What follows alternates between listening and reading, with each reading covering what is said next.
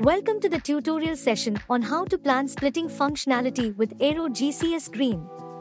To get started, select the plan from the home icon on the dashboard located in the upper left corner of your screen. Click on Edit on the lower right side of your screen to start with plan splitting functionality. Click the green icon located on the lower right side of your screen.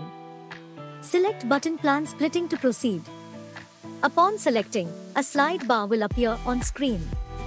Change values of indicator on slide bar to split the selected plan. Click OK to save the changes.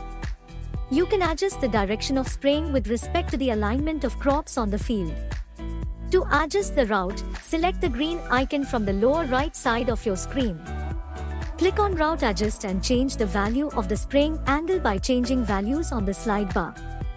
Click OK to save the changes. Users can adjust the spraying lines of the selected plan from the starting point of spraying.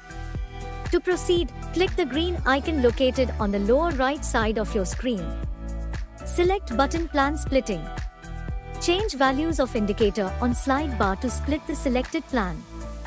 Click OK to save the changes. Once parameters are set, you can click Save on the lower right corner of your screen and save all set values in the existing plan or create a new plan. Start spraying a mission by loading the plan by clicking the Load button located on the bottom right corner of your screen. Adjust the parameters of flight according to your requirement by clicking the takeoff icon located on the upper left corner of your screen. Click Upload Plan to proceed. Upon uploading the plan, users will find flight pre-check parameters displayed on screen. Flight pre-checks will be performed automatically by Aero GCS Green. Click OK to proceed with the flight mission. To start the flight, swipe the indicator to the right. During the flight mission, users can monitor all details of flight such as altitude, speed, area covered, distance traveled by a drone, consumed amount of liquid, percentage of remaining liquid and total time required to complete a mission plan displayed in the bottom left corner of the screen.